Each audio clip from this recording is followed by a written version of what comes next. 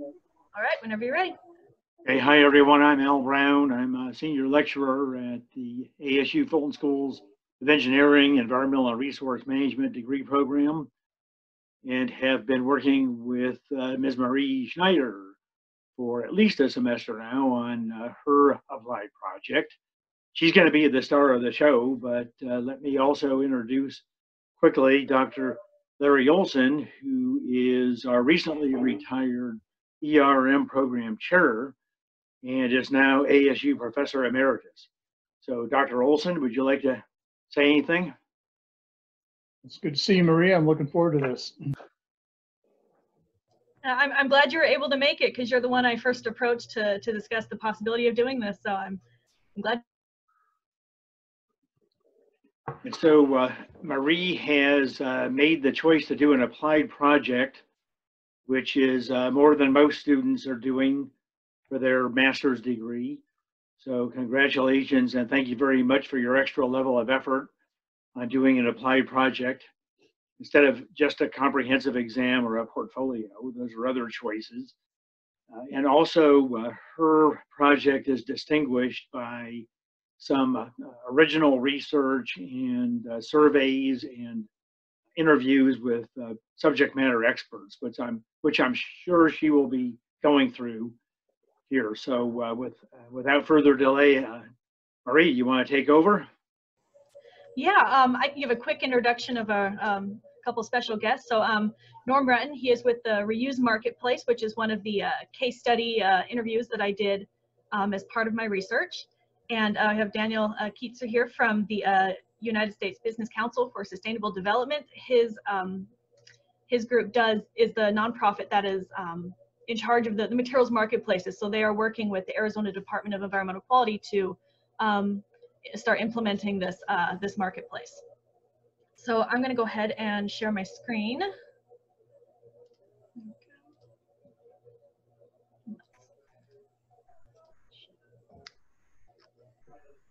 All right, so my project is a study of the feasibility of this materials marketplace in Arizona. Marie, I'm sorry to interrupt you. I had my microphone turned off. I noticed there's a bunch of other people or several other people who um, are your invited guests. Do you think you could please introduce them? Oh, yes, yeah, sorry. I, I know them really well. Yeah, let me pull this up. Let me stop sharing. Um, so I have a couple of my classmates here that were um, teammates with me on the uh, sol Sustainable Solid Waste uh, project for the city of Peoria, Arizona, where we uh, looked at uh, styrofoam recycling. Um, so we have uh, Alexis and Claire. They were amazing teammates. Thank you so much for uh, for taking a little bit of time to come to this. Hi, Dr. Olson. um, and uh, my two other guests, my mom, Jeanette, is here. Um, she's a she's an architect, and um, my sister Stephanie Basker is also here for support.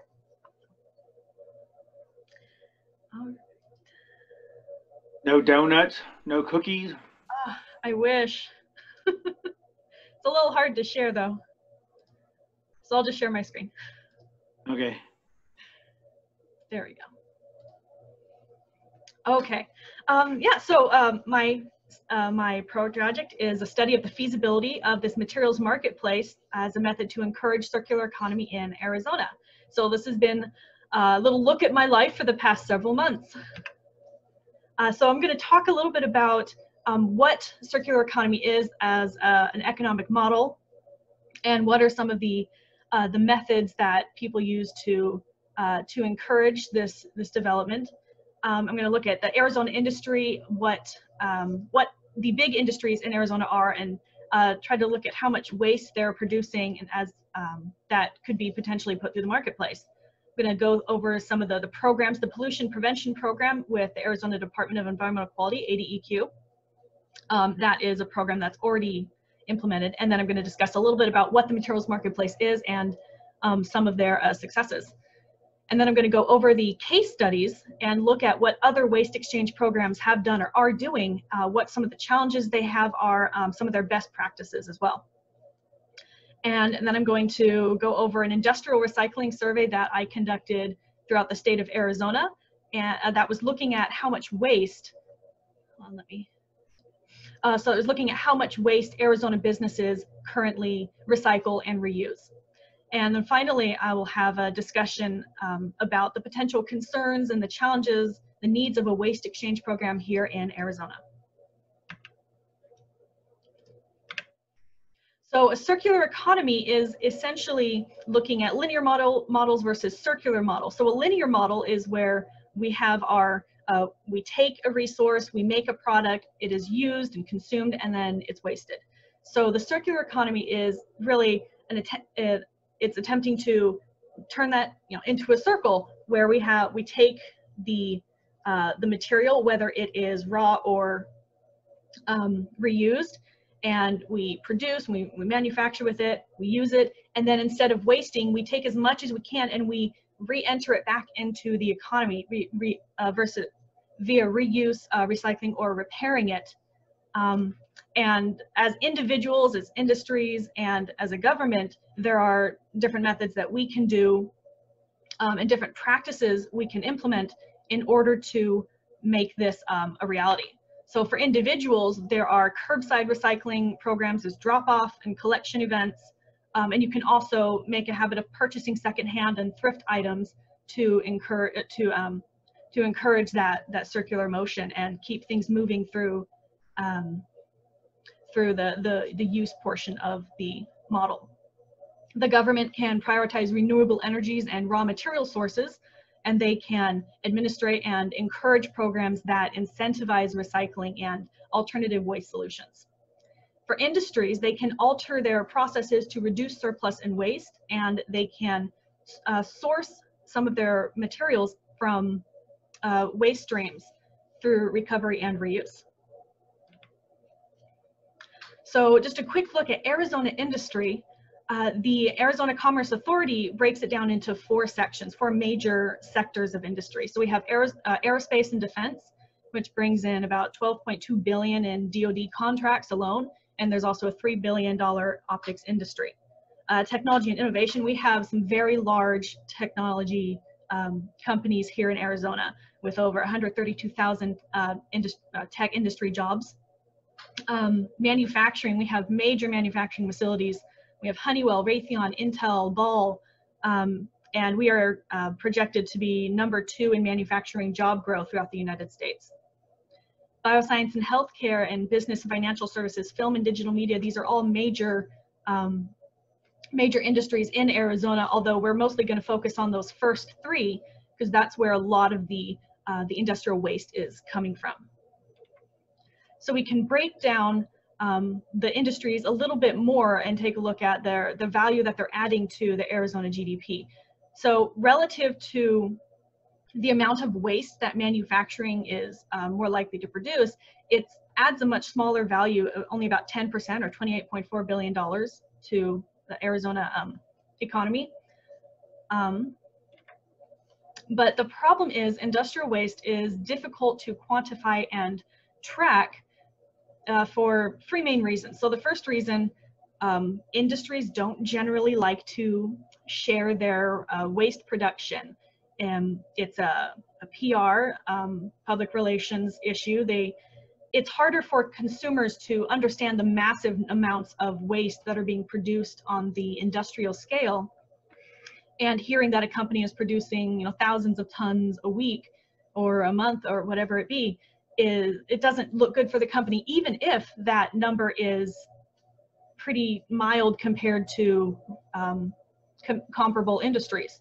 So there's a lack of reporting of waste and so we really have to just rely on estimates. The epa estimates um, the, the most recent epa estimate was from the 80s and they said about 7.6 billion tons of industrial waste was being produced annually um, there was another estimate about a max of 12 billion. So huge numbers, but unfortunately we just, it's just one of the downfalls of being involved in the industrial waste uh, sector and, and trying to research and look at this, that there's no reporting there. You have to rely on the goodwill of companies to get their, their data. Um, additionally, ad- um, industrial waste is uh, difficult to track because each different types of waste has different properties and those different properties give them different values. So what may be valuable monetarily to one company is not to another company. So it makes it difficult to really understand and, and track where all this material is going as it changes, as it goes through treatments and um, gets different chemical properties. So um, the pollution prevention program is with the um, Arizona Department of Environmental Quality, ADEQ, well, and we'll refer to this as P2, just for simplicity's sake. So the, the P2 program is designed to help industries reduce their, um, their waste outputs and their energy and water consumption. It is a, it can be either a voluntary program or it's required depending on uh, different amounts and different types of waste that is produced by a facility in a year. So for example, if they use more than 10,000 tons of a toxic substance in a calendar year, they are required to work with the pollution prevention program to design a plan to help them reduce that uh, toxic substance uh, usage. Or if they generate more than, um, or an average of uh, one kilogram per month of acutely hazardous waste, so very, very hazardous, or 1,000 kilograms of um, hazardous waste. So very dependent on, um, or the, the requirement to participate is very dependent on the amounts of waste that they're producing. The P2 plan is really based on the um, waste uh, management diagram here. So this is a pretty commonly used diagram when you're uh, talking about um, uh, waste disposal and, and, management. So the top four are what we really focus on for P2. It's avoidance, minimization, recovery, and co-processing. Um, the less desirable management, uh, waste management methods incineration, landfilling, and very much so the unmanaged waste. We want to avoid those as much as possible. So P2 plans often involve reducing the chemicals that you're using, implementing better spill and leak protection, um, recycling, changing processes to, um, to reduce amounts of chemicals that may be needed, um, and reclamation and substitution where possible. In Arizona, the P2 program is specifically um, majorly manufacturing companies with almost 50% um, of the companies involved in manufacturing. Others are retail is also big um, and uh, bioscience and healthcare. Um, and the manufacturing and retail specifically as the largest groups in uh, the P2 program are largely focused on chemical reductions and substitutions specifically, as well as equipment updates uh, for uh, energy efficiency reasons and recycling wooden pallets specifically. So wooden pallets either um, recycled as pallets or the wood taken apart and uh, recycled. And then replacing uh, paper with digital, for example, uh, paper training manuals being replaced with digital modules. So um, in 2018, the pollution prevention program saw a reduction of uh, about 5 million pounds of hazardous, toxic, and, and solid wastes. And uh, almost 170 million gallons of water conserved, 48 to million kilowatt hours of energy conserved for a total cost savings of over 12 million dollars. And that's that's really good. Um, the additional benefits for the program and for the companies involved are recognition from peers and their public as well as a safer working environment for their employees and um, even more so reduced regulatory obligations as they reduce waste to enough uh, to a, a low enough point that maybe they don't need to be regulated quite so heavily. Uh, Maria, was that just for Arizona? Yes, so this P2 uh, data is specifically for Arizona in 2018. Okay, thank you. So um, the other program we're going to take a quick look at is the Materials Marketplace. So this is the program that uh, the United States Business Council for Sustainable Development, the BCSD as I'll refer to it, um, that they, they work with cities and states to implement this program. They currently have programs in Ontario, Canada, in Michigan, Tennessee, Ohio, and Austin, Texas, and they are currently working with Arizona. So this program is free for users, and it is essentially a listings website. So you can list um, materials that you have that are available, material surplus, waste, etc., or you can list what you're looking for and uh, make connections that way. Uh, their outreach is mostly conducted through referrals from people who are already in the program, um, industry, industry and trade associations, and through the programs themselves as program administrators reach out to companies. Uh, they also offer waste and savings trackings that um, is updated real time.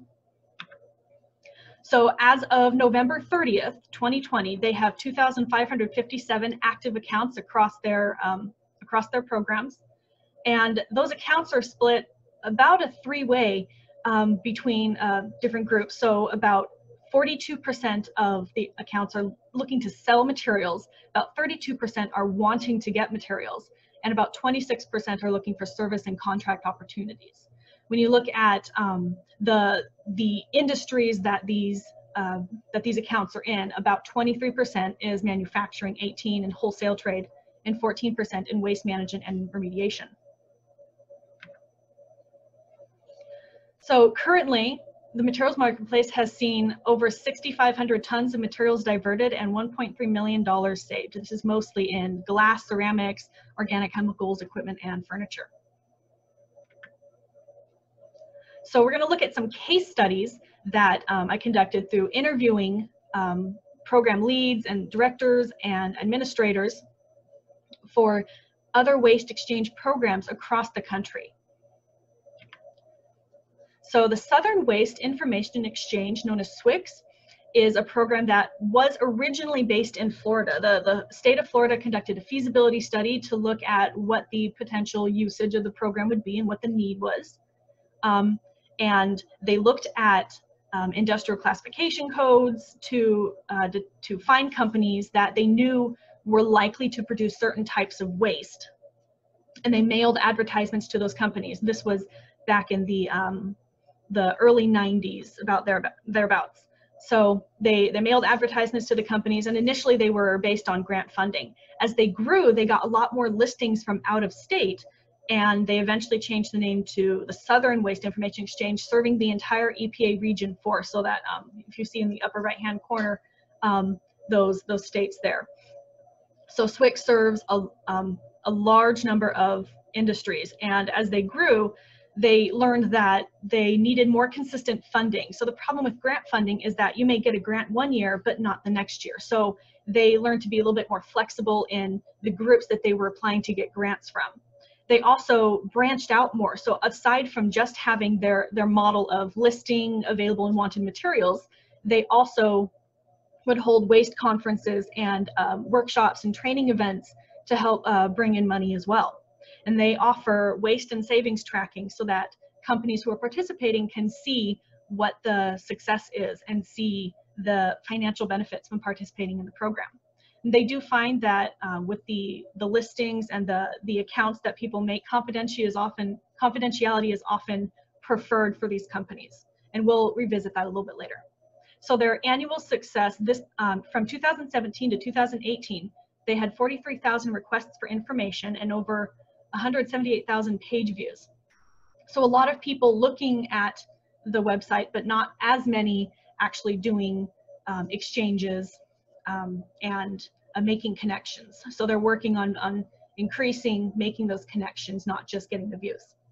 Um, they've had almost 70,000 tons of waste diverted and have saved facilities in the area a total of about $3.5 million. So the reuse marketplace um, was originally developed by college students as a, um, a system of classified ads. So again, sort of the, the Craigslist model. So the classified ads where they um, they had listings for what was wanted and what was available. They offered tracking of the waste movement and the transactions. As they grew, they began partnerships with the EPA and with cities and states to develop their own uh, waste exchanges. So Reuse Marketplace really works with other groups to develop their own waste exchanges.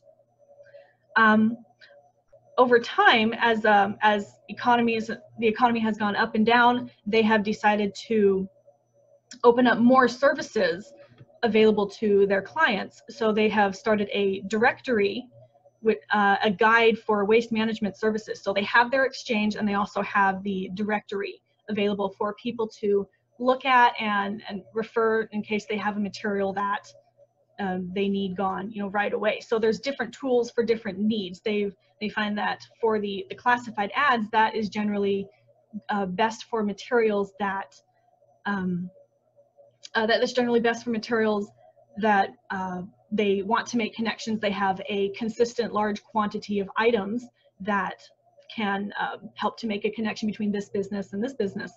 Um, and for the directory, if you have a waste, if a company produces a waste, um, and maybe it's in smaller amounts or it's an inconsistent production of this waste, they have the directory for the waste management services to come take care of that waste. Um, based on the, the economy, they, they've made the decision to, to start charging service fees because they're seeing a lot of um, success from their program and uh, businesses making money through selling their waste. So those who are uh, profiting from using a program should um, should help to support that program that's allowing them to make the money. So that that's the uh, the mindset behind uh, beginning to charge service fees. And they're also shifting to a full service program. So in addition to the classified ads and the directory, they're also starting a focus on surplus chain tracking. So we all kind of know a little bit about the, uh, the supply chain, where things are coming from, but the surplus chain is looking at where things are going. So you have a waste, where is it going? Where is it needed? Um, really tracking, uh, tracking that and understanding the business side of it. So some of the challenges are having that business experience and mindset is absolutely necessary for program administrators. They can't simply uh, rely on the software to uh, do the work for them and to uh, promote the program. But uh, programs really need promotion and marketing to make sure that activity stays up and stays consistent. The Iowa Waste Exchange is based in Iowa. Um, this is a little bit of a unique program. Um, it started as a, um, based on speculation from um, the Department of Natural Resources looking at other programs in the 80s that were popping up that was around the country that were doing similar things, so other waste exchange programs. And they said, well, if it works there, it might work here. And this was in response to a Groundwater Protection Act that Iowa passed in 1987. It implemented a waste, uh, a fee structure for waste disposal. So for every ton of waste that was being disposed by industries, they had to pay a fee. Um, so in order to provide industries other options than just landfilling their waste, they implemented the Iowa Waste Exchange. So this exchange is based on um, dividing the state into regions. Initially it was 10 regions, so currently it is five regions and each region is given a, uh, is assigned a specialist. And these specialists, their entire job is to go out and find companies who can participate to help uh, to do waste assessments when needed and to look at what um, what wastes people may be missing in their processes and to give them new ideas about um, about what can be uh, added to the added to the waste exchange. They provide resources for for companies who are a little unsure about the regulations surrounding different types of waste. Uh, the challenges that this program faces is some wariness around extra government involvement. So you have government getting a little bit more involved in the companies. Um, so helping the companies to understand the benefits that this gives them. So really looking at the financial benefits because companies are heavily uh, reliant on their uh, on their bottom line, meeting that bottom line, making sure they're making money and saving money. So emphasizing that uh, financial gain to the companies helps to overcome some of that wariness around government involvement. Um, and the challenge is also finding new companies. So initially in 1987, it was pretty easy to find companies because the waste exchange was brand new. No one was really doing a whole lot of this uh, alternative waste disposal and moving waste to different places other than the landfill. So there was a lot of low-hanging fruit that these um, that the program was able to to find all these big manufacturing companies that could put a lot towards the waste exchange. But now they're finding that after being around for so long, it's harder to find companies to keep the, uh, the listings up. And um, finally, the, the last challenge was the exchange activity and the economy. So as the economy goes up and down, the exchange activity goes up and down. So it varies from month to month. Um, and some years are better than others. So right now they've had uh, more than 12,500 listings and 16,000 plus matches. Um, they have been able to divert over 4 million tons of waste, including hazardous and construction and organic wastes. And they have been able to save facilities and companies across Iowa and even some listings outside of Iowa a total of uh, one, uh, $117 million. Marie, before you move on to the next one, I- uh, not sure if I saw you, any slides or heard you mention hazardous waste being uh, on the uh, list of things that could be exchanged in the previous waste exchange case studies. Uh, are, are they also dealing in hazardous waste or is this the first one that we're being told about? Um, it depends um, on the, the waste exchanges themselves. Most of them do allow um, hazardous waste um, uh, in, in addition to other solid waste and surplus, uh, surplus materials. Um, in the end, it's really up to the company to decide what's to what they want to list, and for the other companies to decide if they want to accept it. So, um, a lot of these programs offer uh, resources and um, uh, resources to help companies understand um, or to, to come up with ideas about things they can recycle. But um, I, will I'll discuss a little bit later the issues of liability that come with giving too much advice on a personal level or trying to get involved with these, especially hazardous waste uh, transactions. Okay, that's good because that's a tricky one. So I'm glad you're going to be covering it. It, it was definitely mentioned across, I think, all of the the case studies that I did for sure. Okay, keep on going. Um, so next we have the Resource Exchange Network for Eliminating Waste. This is uh, Renew. They're based in Texas. Um, this model was salvaged from a 1990s listings manual that contained all the data for um, the, these various material listings. And as the manual got bigger, they decided that they wanted to switch to a website, and that was launched in the early 2000s.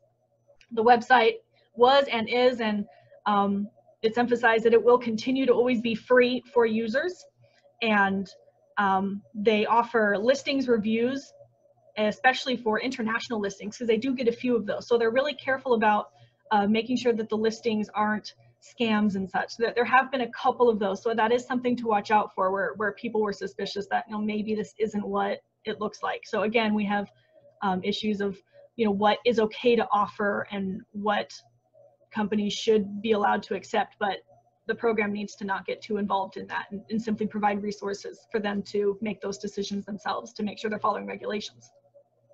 Um, Renew finds that confidentiality is often preferred by these companies and for uh, for many of them it's actually a requirement like they, they absolutely require being uh, their listings and their company being uh, confidential on the website and that actually presents a challenge for renew in that they don't get as many reported exchanges and successful transactions as they would like, um, simply because they're they're not um, the these exchanges are not being reported because the companies would prefer to be confidential. But in the end, it's not so much about what they're able to track; it's whether or not it's being tracked. These exchanges are happening, and that's good. We want these exchanges happening. So if offering confidentiality makes companies more willing to participate, that should be the focus rather than no, but we want to track it. Um, in terms of promotion, Re, uh, Re, Renew is doing some really good things. They um, do presentations at government meetings, at conferences, they go to trade fairs, and they also maintain a, a social media presence.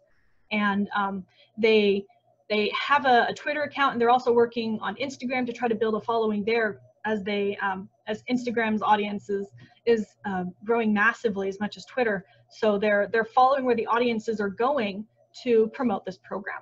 So Renew has had um, they've had over 500 exchanges in the um, in the year and 500,000 plus tons of material that have been reused and recycled. They have helped facilities to save over two, uh, 27 million and earn over 15 million.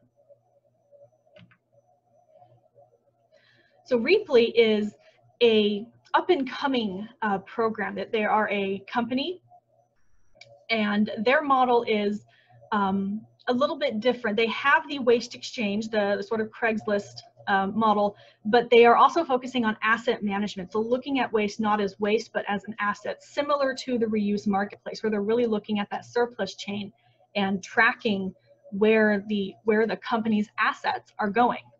So in terms of their services, they're offering a couple uh, additional um, additional services there for their monthly fee and transaction costs to help cover these services. So they do offer rental options. So if a company wants to maintain ownership over a material or equipment, they can do so. But that way it's not just sitting there taking up storage space, someone else is using it. So this other person doesn't have to go out and buy more materials and equipment. They have an in-app messaging system that allows for um, instant and direct uh, connections and a variety of search functions so that you can be very specific with the material that you're looking for.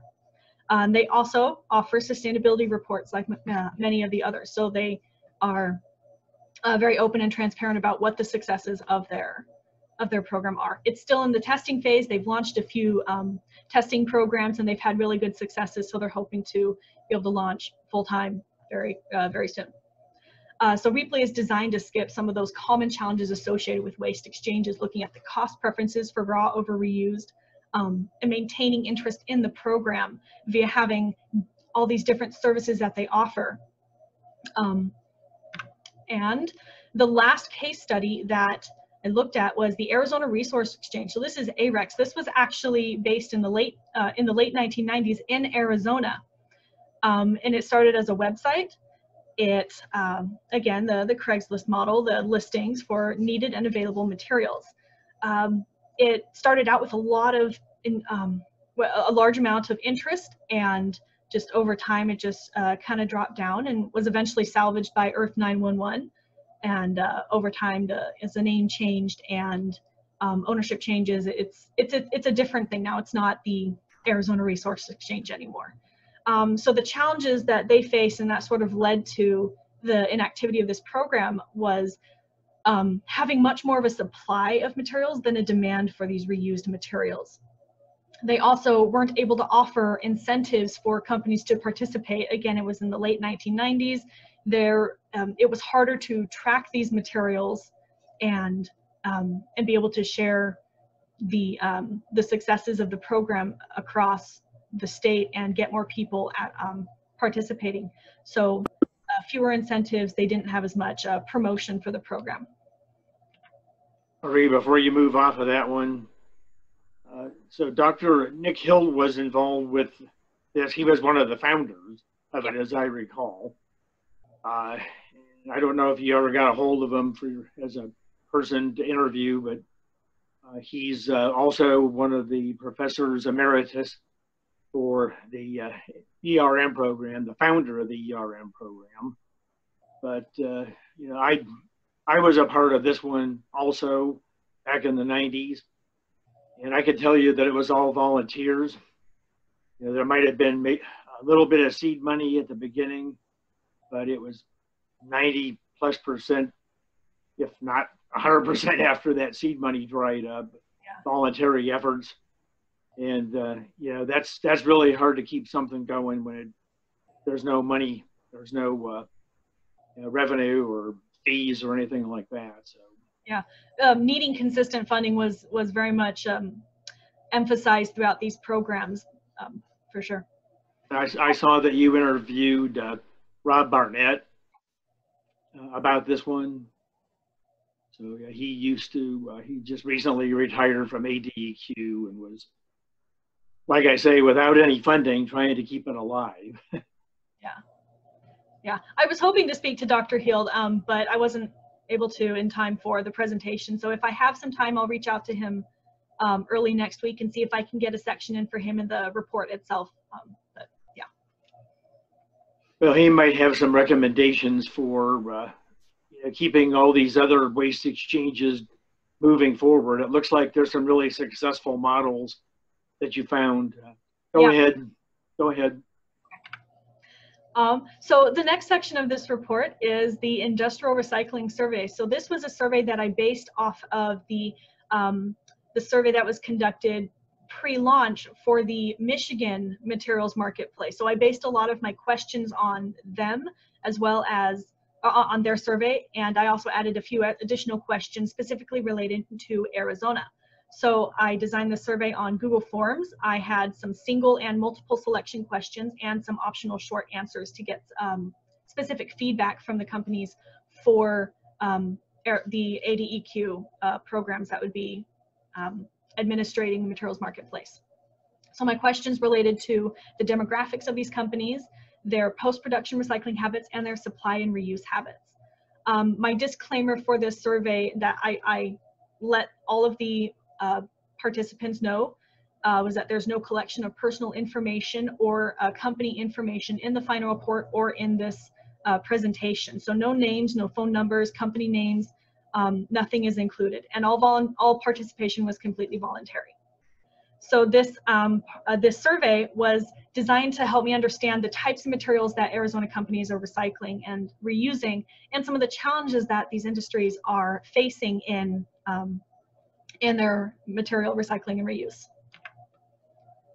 So out of the companies that I contacted, I had a, well, I, I started with a list of 300 company names that I took from, uh, as a random selection from the EPA toxic release inventory list and the, the Arizona P2 participant lists.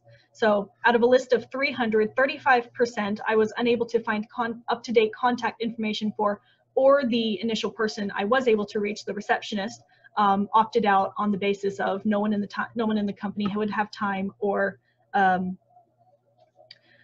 or um, the company wasn't doing recycling, and so they weren't um, interested in participating.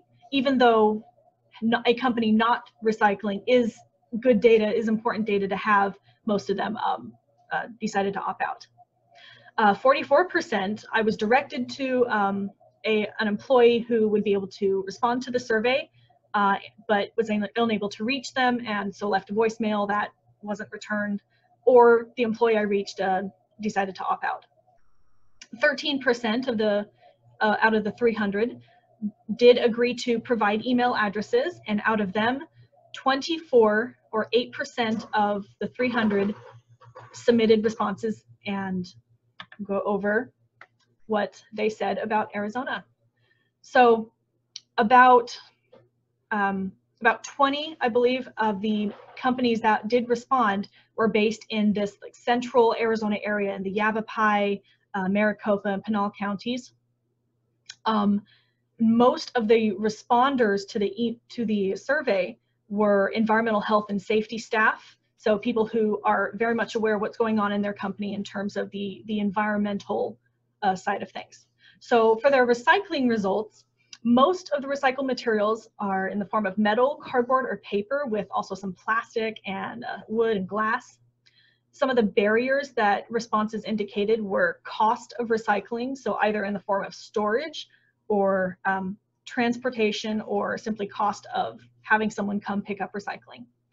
Um, and then also no local recycling options. So certain materials, it's harder to find places that will accept that as a material, as a recycling uh, drop off. Also lack of adequate staff, corporate support, and space for doing the recycling and having containers to store them. Specific feedback for ADEQ um, included developing a network with a, a, list of people and materials, so something like the materials marketplace. Also providing incentives and financial assistance for companies to develop uh, recycling programs and to have the, the training and education to uh, to provide for their employees so that they can get more, um, more employee participation. For supply and reuse, um, most of the reused materials are metal, wood, and cardboard, um, but also pallets, polystyrene, and plating solutions.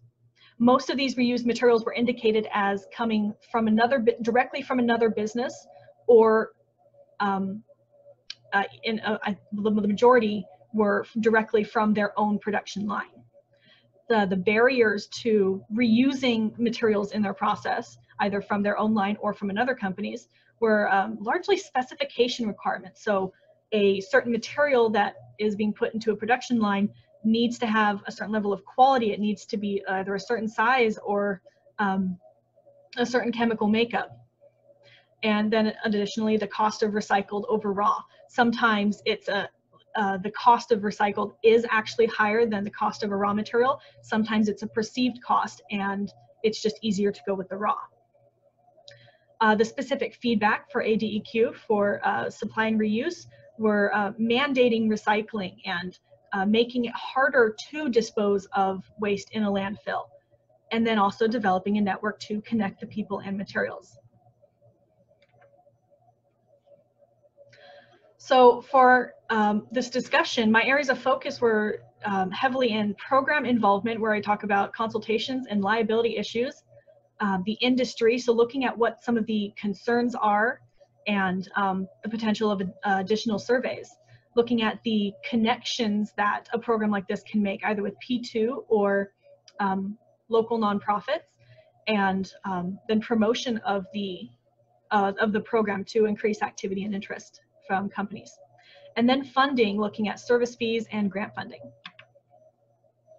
So program involvement, um, very much looking at the liability of a program getting too involved in the transaction. So almost every single program, except for Iowa, emphasized being very careful about how much you get involved in the program. And uh, in terms of hazardous waste, you don't want to uh, trigger um, Resource Conservation Recovery Act and transfer storage and disposal facility regulations or Department of Transportation. So you want to avoid transporting, storing the, any hazardous materials that are offered. Um, and so in general, it was advised by um, program administrators in the case studies to avoid getting involved in the transactions any more than helping to make the connections. Um, and in Iowa, they do have consultants and specialists who uh, provide waste stream advice and do waste assessments for companies. But again, it's providing expert advice and these people know what they're doing. They, they are um, professionals, uh, engineers and people who understand um, regulations, but they're not saying do this or accept this material. They're simply suggesting ideas for um, these companies to uh, to look into listing on the website. They're providing resources and not personal opinions. So programs need to remain as a transaction site and not be providing full service in terms of physically getting involved. Um, the industries, uh, their, their main concerns seem to be the, the cost concerns um, in terms of um, the cost of recycled over raw. So being more transparent in um, in the benefit in the financial benefits that these companies may see can help to increase and uh, increase activity and have more consistent activity. Um, free service may have higher activity levels, but it depends on what is being offered in the service. If you are simply a listings website, it it may be easier or, or if you're if you're a listings website and especially if you're connected to a government program that provides you that funding, free service may be an easier option to offer companies. Um, but if you are offering more services, if you are a nonprofit and you need to have ways to be supporting, uh, to, to be um, paying the bills for the software and the people who are um, running the program, then um, service charges may uh, may be the best option. Um, supply and demand, people need to um, under the pe people need resources and and and um, ways to help them understand the the different materials that are being offered on these exchanges and to um, find their need to have ways to find materials that meet their specifications and quality requirements to help balance that supply and demand because consistently across case across the case studies, you would find that there's usually more supply than the demand of these products. So um, it's harder to encourage industries to stay active in a program that's not getting them any benefits because no one's taking their materials. And again, a lot of these companies like confidentiality. They have proprietary materials and processes that they want to protect. Um, and that can be an issue because you have fewer success stories that you can use in, in promotion and marketing to other companies. So you have to look at um, offering confidentiality and helping companies to um, to understand um, sorry and, and and helping companies to uh, to be more comfortable um, giving their their data um, helping companies to um, to give their, to, to track their successes and to report their successes. And then surveys, um, uh, some notes on my survey and on Michigan survey. Uh, there is some negative and positive recycling biases associated with these surveys. So when you have a survey that's asking about recycling, you're going to get more responses from people who already recycle, who are interested in doing that. But the people who are not recycling, the companies and facilities that are not currently recycling, they're more likely to opt out. Um, so your survey is biased towards those people who are doing recycling. So one potential uh, follow-up could be that uh, Arizona Department of Environmental Quality looks at doing a, you know, an official survey uh, that targets a wider audience and specifically looks at those who are not recycling and looking at what their challenges and their barriers are and making their uh, the terminology accessible and, and helping people to understand what they mean when uh, when we talk about circular economy and um, and sustainability and using terms that can be understood by a wide audience um, so that the idea of participating in a circular economy survey isn't so um, isn't so scary. Uh, for connections, we look at um, I looked at marketing. So how do you actively look for companies? So as mentioned for Iowa, you can use consultants to go out and talk to companies, you know, uh, face to face or or make or uh, make connections over the phone or email and, and uh, make those physical connections. Um, attendance at conferences and trade fairs is uh, vital to be getting the, the word out to people and companies who would actually be participating. And then having a presence on social media, uh, as mentioned for Renew, um, really getting where the audiences are and spreading that word, making uh, circular economy and waste exchanges an accessible program for people who even aren't in co um, companies, but helping consumers to see the importance of uh, of these waste exchanges and finding alternative disposal methods so that they can provide that feedback to companies and demand that this is what they want. And then emphasizing the benefits, the financial benefits specifically to companies. We'd like to say that companies off, um, operate on goodwill and that they'll recycle and um, out of the, the goodness of their hearts, but in reality, they have to meet their bottom line. They, they're making money and saving money. So emphasizing those financial benefits is key to getting a participation. Um, more connections, um, additional services, being flexible in what you're offering, looking at your clients and your customers and understanding what their needs are, whether they need an exchange or if a directory would also be useful for them. Um, offering matchmaking events was a, a suggestion in the, um, in the industry survey I conducted. So looking at what um, what companies could be matched up with these other companies, offering a newsletter, so keeping the word going, not just talking to someone once, but um, emails and uh, consistent, uh, consistent advertisements to companies.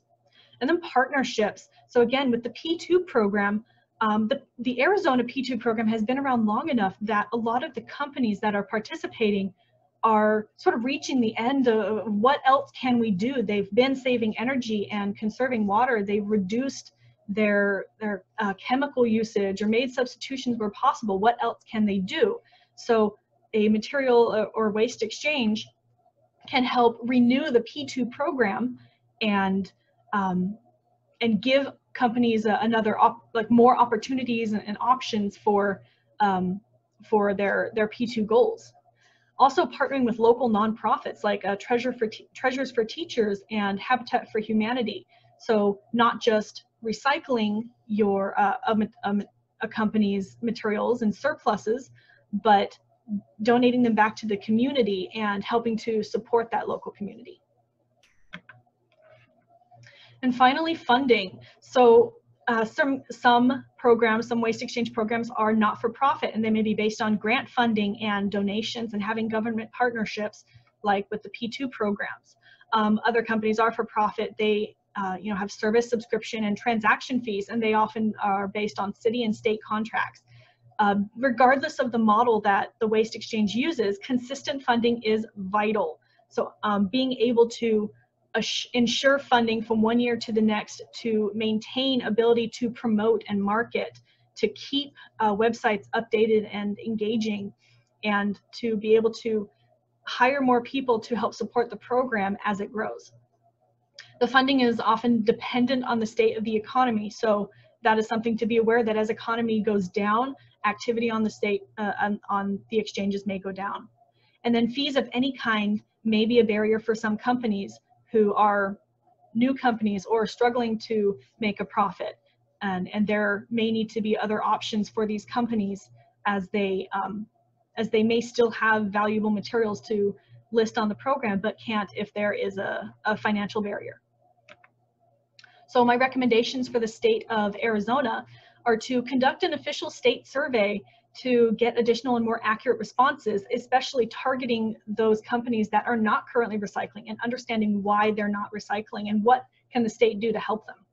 Uh, two, state P2 programs can act as incentives for company participation and the waste exchange can help to renew their P2 goals. Three, avoid active participation in the transactions for liability and legality issues, especially when uh, you're looking at uh, the Resource Conservation Recovery Act or RCRA and hazardous waste. Uh, four, maintain real-time data so that you can be transparent about the waste diversion volumes and the weights, cost savings especially, and um, possibly even CO2 savings, and make it available to participants and to the public. Uh, five, consultation uh, consultants, uh, retired engineers, or other uh, professionals can look through facilities and manufacturing processes. They can find uh, valuable um, reusable waste streams that maybe they missed. And uh, they can also find businesses to participate and do face-to-face -face meetings and really promote the exchange. Uh, six, attend conferences, workshops, and trade fairs to spread awareness to a wide audience. I know that the uh, recycling program and the uh, P2 program at ADEQ are already very active in going to conferences and trade fairs. Um, but also maintain an active presence on social media as well and keep the user interfaces updated and engaging. Um, make them interesting for people to be on and easy to navigate. Seven, offer both, both a listing site and a directory for users um, to consult either one depending on what their waste streams need and what their quality and quantity needs are. Eight, connect with local nonprofits and material reuse businesses. So as mentioned, the Treasures for Teachers and the Habitat for Humanity. So help to benefit local communities and organizations. And that provides an additional benefit to the company in increase in um, improving their, their reputation. Um, and number nine, offering a free service removes cost barriers from participation. So companies may create an account uh, out of interest to see what the listings are, and if they find listings that interest them, they may stay active. 10, look into grant funding from multiple sources. So even if the exchange is already included in state or city budgets, um, in this case, the um, Arizona Department of Environmental Quality, their materials marketplace is going to be connected with the P2 and recycling program. So it's already sort of going to be funded, but make sure that you can ensure that funding from multiple sources. So have backups and 11, additional community and company outreach, really um, offering education and training efforts and um, resources for these companies so they can improve relations between their employees, their companies, and other companies. So the, the, the, the success of a waste exchange program is dependent on understanding the current waste and recycling situation of the companies in the area that they're serving.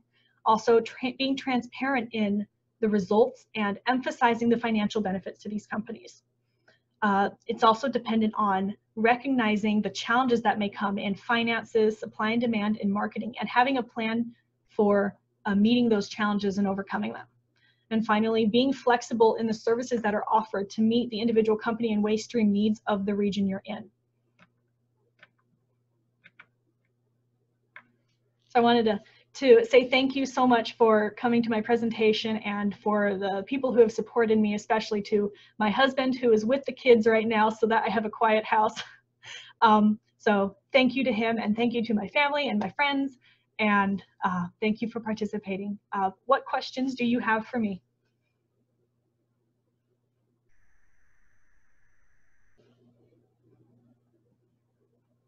Okay, so uh, traditionally, we start out with uh, the guests asking questions, then the faculty.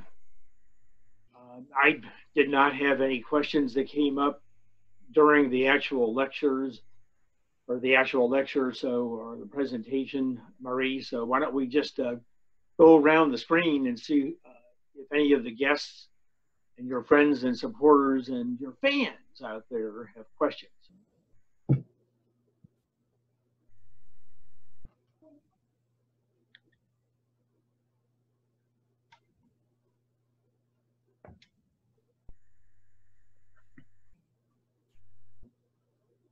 About the uh, students who were on uh, Marie's team. I see there are several of you logged in right now. She led a fantastic team there in our uh, sustainable solid waste class uh, where we assisted the city of Peoria this semester in coming up with uh, ideas for them to improve textiles and styrofoam recycling. And uh, Marie led the styrofoam recycling group, produced a really excellent report. So Uh, I don't have a question, but I do have a comment. Uh, Marie, I'm very impressed. Uh, this was a lot of information. Definitely tell you've done a lot of research. So yeah, this is great. Congratulations. Thank you. And I, I- have to add really quick, my team was absolutely phenomenal for the Peoria project. So I'm, I am very grateful that they were able to take some time and come watch this and see what else um, I've been doing and, and, cause it, it fit pretty well in, in with our presentation. So thank you guys for coming. Uh, I, I have just a quick comment, uh, Marie, and I enjoyed uh, talking to you uh, and answering some of the questions you had about the activities we have. We we do do the reuse marketplace, uh, and we do quite a few other um, waste exchanges as well. Each one kind of a little different version, uh, depending on the um, situation we we find ourselves in. You mentioned hazardous waste uh, on waste exchanges, and uh, we've had two experiences with that. Uh, one was a waste exchange that wanted to list hazardous waste on their exchange and to handle it um, discreetly or delicately so they didn't run afoul of uh, regulations. And I think the way we handled that was to uh, ensure that the information about the hazardous waste, you know, had, had a hazardous waste assessment been done on it. And uh, if so, could you please, uh, you provide a link to that assessment so we know what's in it and then uh, we posted some some cautions about buyers and sellers or uh, generators and consumers of hazardous waste uh, to make sure that the waste exchange wasn't uh, didn't have liability in terms of uh, dealing in hazardous waste and so on. Uh, we also had a request at one point from Washington D.C about an exclusively hazardous waste waste exchange that would just focus on hazardous waste as they had a problem with it. Have did you run across any other examples of, of hazardous waste actually being exchanged on a waste exchange and or uh, a waste exchange which which focused exclusively on hazardous waste? Um, I didn't find any waste exchanges that their sole focus was um, hazardous waste. Um, but in general, when talking to the different program administrators, they uh, they would mention that yes, hazardous waste was accepted, but I get the feeling that it's not very common simply because of uh, the RCRA regulations and making sure that you're Right. you're not breaking the law and doing anything and, and following the hazardous waste recycling laws. Right. So the same issue we faced, which was to make sure that we do do due diligence when somebody wants to to um, to um, transact in hazardous waste on a on a general waste exchange. Thank you. I really like the that that you mentioned that you do the uh, that that the, they do the hazardous waste assessments and provide that as part of the the listing. That's a that's a really good idea. That's that's great. Hey, Marie, could you uh, stop the screen share so that we can see everybody's images better? And, you know, during the discussion, it's always nice that people can turn on their image and microphone so we have a robust discussion. They're all welcome to do that. Yeah, hi Marie. Thanks for uh, thanks for the invite to to Yeah. join today and, and great uh, great work on the the presentation as well. That was really interesting. Um, as and it was a, a really nice nice to get an insight into some of the things going on in the, the Arizona context as well. Um, as as you know, we we have a lot of interaction with uh, economic development agencies in in a lot of our projects, and I was wondering if any elements of your research veered in in that direction as well if if, you know if folks from folks are looking at this reuse and recycling marketplace from a economic development perspective and potential for job growth and all of that. Any insights there? Um, unfortunately, not too many insights on that. I did reach out to the, the corporation commission and they, they weren't really able to provide me with any. It wasn't something that looked at, um, and they don't do anything with tracking industrial waste, unfortunately. Gotcha.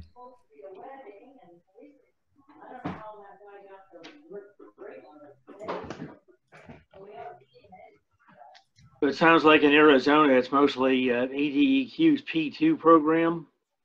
Mhm.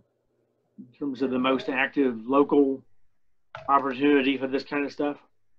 Yeah, so the P2 program that they have participants from all across the state. Um, and, and, and as mentioned, most of them are in manufacturing. There are some that um, in, you know, in education and, and bioscience and, um, and a good portion in retail as well. But currently that's the, that is the, the option for, um, for helping industries to reduce their, uh, their waste. That one is fairly limited, I think, unless they have somehow find, found a way to expand uh, to the TRI and tier two reporters.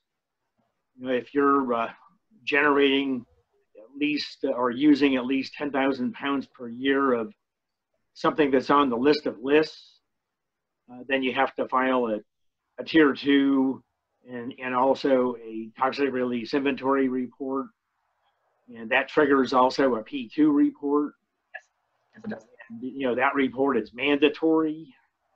And so is ADEQ P2 program offering services that go beyond what's mandatory and beyond toxic stuff? Um, the, the program is also open to uh, voluntary participation. So there are um, a number of companies, I, I don't know the exact number, uh, but there are a number of companies in the program that are doing so completely voluntarily, just out of wanting to reduce their waste, even though they don't, um, they're not triggering that requirement. That's good to hear. And are they just getting money from an EPA grant then?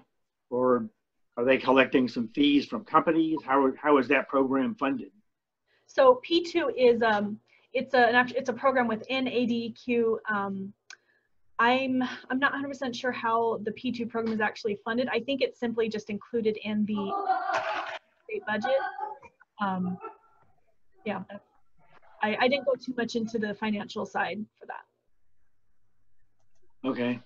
I think it's grant funded from EPA, but other uh, people on the call here want to uh, ask questions? In the uh, in the breakdown of your uh, survey responses, uh, do you the the response rate on those? Do you do you have a a further breakdown of how many of those responses were from your P two list and how many of those were from the the TRI list? Unfortunately, I don't. Once I collected the the random selection from the two lists, um, I all I did was um, have the company names, and then uh, I got I looked at their phone numbers on Google, and then got employee addresses. And then once I had what I needed, the the list was um, deleted simply for the privacy sake. So because th- there were some companies that specifically um, wanted to make sure that their information wasn't going to be spread around. And once once I assured them assured them that that was the case, that you know once this was over, that that file's being deleted, that no information is going in the report. Um, so w- regardless of where I got their name, um, that it, it wasn't going to be be spread around because there were some companies that were curious how I got their name, and so I was able to tell them it was from the TRI or the the P2 list, but um, I couldn't tell them which one because I it was easier Mhm. me not to know and and to have going to um, calls and uh, to companies with preconceived notions. Got it. Yeah, interesting. Yeah, we've had similar low response rates uh, contacting companies from from TRI data, but the the P2 programs, the the folks that are involved there always seem very willing to to work with us. So that's just a, an observation from our our end of things. Yeah, the the Michigan survey, um, they they had a, a pretty low response rate. I, I thought mine was low. It was higher than I thought it would be. I thought I was going to get 10 max, but then I Mhm, ended up with mhm. 24, and I was like, yes. So I was pretty happy with that. And then I went back and looked at the Michigan survey, and they had a pretty similar response rate. So I actually felt pretty good, although they reached out to like several thousand people. Yeah, yeah. So, um, yeah, yeah, that's great. I don't feel bad about that. I was involved with a federal grant from FEMA a few years ago. I think we reached out to 3,800 some schools. These were colleges and universities. And we out, wound up with about uh, 40 of them. So, you know, 10% or less. So don't worry about it. It's, uh, it's typical. Uh, I wanted to mention also about uh, the ASU Institutional Review Board process. Uh, you did go through that. Do you want to tell everybody, you know, that this got approved? That might make some people feel comfortable who are concerned about the uh, sharing of information. So actually, it was brought up um, by, I believe it was Al, when I was about 90% done with my survey that I should put it through the, the board of review to make sure that the survey was approved. I didn't realize I had to do that. So I reached out to them and I let them know, um, you know, the, I, I think I sent a copy of the survey so they could see the survey questions and make sure that nothing I was asking was asked, was getting personal information um, and make sure that it, it met all the, the code of ethics for surveys and such. And it, it was approved luckily because that would have been awful to be almost done. Because I started that survey back uh, halfway through the summer, uh, started collecting responses. So that would have been rough. so luckily I, I, had already planned on making sure that it was completely private. There's no information from companies um, going on going on this one. I it will, reminds me of the old, old adage that it's easier to get uh, forgiveness than permission, but maybe that's what they did. yeah, I mean, I was uh, I was careful to say to, to not add that you know I'm already almost done, but can you approve this? yeah, we, we discussed the exact words to use before. Yeah, uh, I think that helped. Uh, let's see another thing that is uh, uh, something that's a challenge is the with homeland security issues nowadays uh, because of the concern about terrorism and act, I guess, access to confidential information about uh, chemicals. There are several new um, confidentiality laws and rules and regulations in place that were not in place before 9 11 and uh, that will inhibit the sharing of chemical information, especially that you can get from anybody, including the government agencies, because even the government agencies cannot share stuff that's uh, that's on the list. You know, for example, information about cyanide or uh, specific quantities of uh, sodium nitrate. You know, there's a there's a list of about 300 chemicals that uh, that we don't want the bad guys getting their hands on. Mm-hmm. Yeah, and uh, uh, Renew did specify, um, the, the Renew program did specify that they do uh, re- review of the the listings, especially international, because they want to to make sure that they're preventing any scams or any potential issues like that. They didn't specifically mention um, home, the Department of Homeland Security, but that is definitely something to to watch out for to make sure that people are legitimate on the website yeah, so just keep uh, looking over your shoulder, uh, you know, looking at your rearview mirror. Uh, you know, you might have triggered some key buzzword on the Homeland Security uh, search engine while you were doing this. I'm just kidding. I'm just kidding. Marie, you talked about the uh, importance of funding um, and, and also the role of ADEQ. So suppose you had a position at ADEQ uh, where you were going to be able to implement uh, a program that you really wanted, that you could design and, and uh, run, uh, but you had to go down to the state legislature and get funding for it, um, you know, argue for it to be included in the budget. What, what arguments would you make to the legislature about why this is important to the state of Arizona, why they should spend some money on it?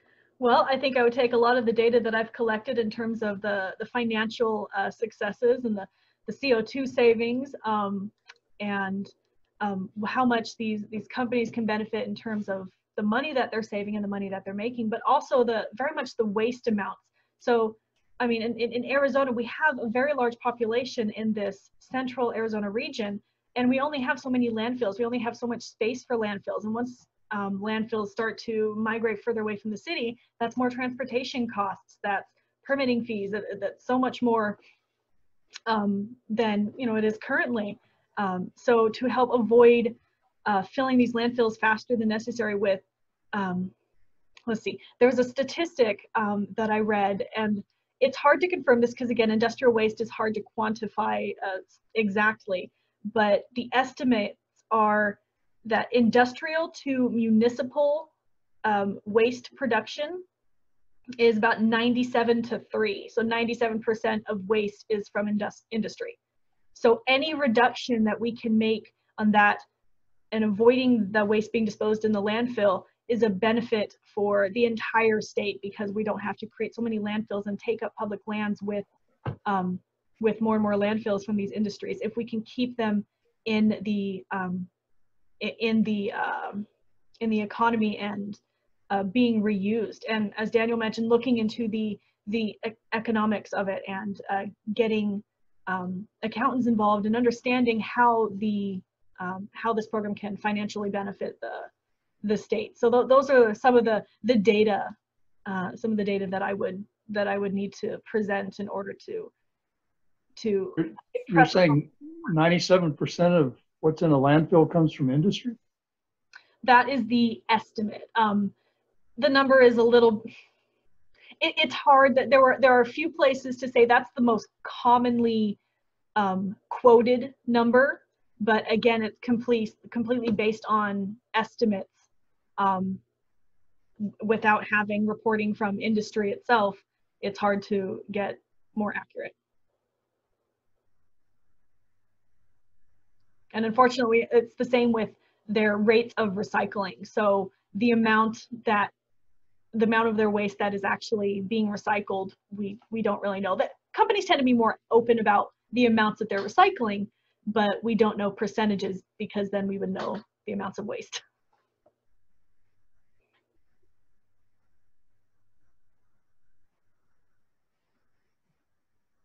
Okay, do we I've- I've any the other, uh, Numbers that for every uh, person, um, for residential waste, um, I'm in Ontario, about, uh, I don't know, 1,600 um, pounds per person per year. And then beside that, I saw the figure of about 35 uh, tons of waste per person per year for the Wasteberg that, uh, that supports that. Uh, underlying that one ton per person per year of consumer waste. Um, I've seen the number 35. I haven't uh, delved into that anymore, but it's a number that's being floated around for the circular economy. Yeah, there's a there's a pretty wide ra- wide range for sure. a number that I'm familiar with, I just punched up in my calculator is, uh, the uh, average per capita waste generation of municipal solid waste, which is a, a broad category. And it also includes commercial waste, uh, not necessarily industrial hazardous waste. That would not be part of this number, but it's 4.5 pounds per day. So that comes out to 1,642.5 pounds per year. That seems Right. kind of consistent with what Norm just said. What was your number, Norm? Yeah, it, it was around 1,600 pounds per person per year. Yeah. And then for the industrial waste, it wasn't just industrial. For the 35 tons that I saw, it was uh, industrial, agricultural, uh, construction and demolition, and so on. Uh, everything else other than what's uh, what's generated into the municipal system. Uh, Other and that would go back all the way to, to China in some cases, so it's not all ours. You Mhm. know, it's it's everything from mining all the way up, uh, mining and and drilling uh, pipelines and and whatever. The mining industry generates uh, just an incredible volume of waste. You know, if you look at the TRI reports, Arizona is one of the largest uh, generators of TRI toxic waste in the United States, and that's mostly it is because of our mines. You know, the even just mine tailings or uh, overburden waste rock. Uh, you know, if it's coming from a copper mine, for example, it has a you know very very small amount of stuff in there like cobalt and lead and arsenic and even copper, you know, that they can't mine economically. That's on the list. That's the so-called list of lists. And so we end up with uh, basically mountains, literally mountains of this stuff being generated every year and reported on the toxic release inventory. It's all legally uh, allowed. You know, they can, if a mine has a, a permit to operate, they can generate that kind of waste, but it has to be reported. And, you know, it makes it makes that number, you know, a lot larger than, what than what most people conceive waste to be. So. Marie, if uh, if in fact in the next few years uh, or decades, uh, climate change and funding for uh, different strategies to to impact climate change is substantially different from it is now. Do you see that as a way to really influence the reuse and recycling aspect? In other words, spending more time and effort looking at climate change impacts uh, and, and, and maybe being able to tap into some funding from that source as a way to support some of these initiatives that you've been talking about? I think if um, if the there's more of a focus on the climate change and funding increases for research into that, we can definitely um, gear the, the the benefits promotion towards the climate change and talk more about the CO2 savings and um, and uh, less landfill gases, etc.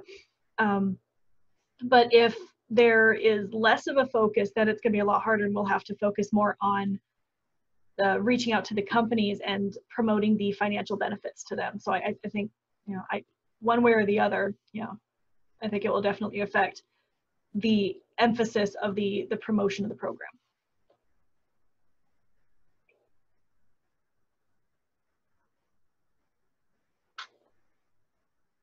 Well, that was a very good presentation. I, I enjoyed it. Thanks for all of your work putting that together. Thank you. I, I really enjoyed this project. I, I first uh, conceived of the project when I was watching um, uh, JB Shaw at the Arizona Department of Environmental Quality. He's the recycling coordinator, and he was giving a presentation on the recycling program at ADEQ. And he mentioned that they wanted to work with Materials Marketplace. And I, and he talked a little bit about what the marketplace was, and I was like, that's really fascinating and I talked to him later and and learned a little bit more about it. And I was like, you know what? Like, what has been done to to see how much this how successful this program can be in Arizona? I was like, there's my project.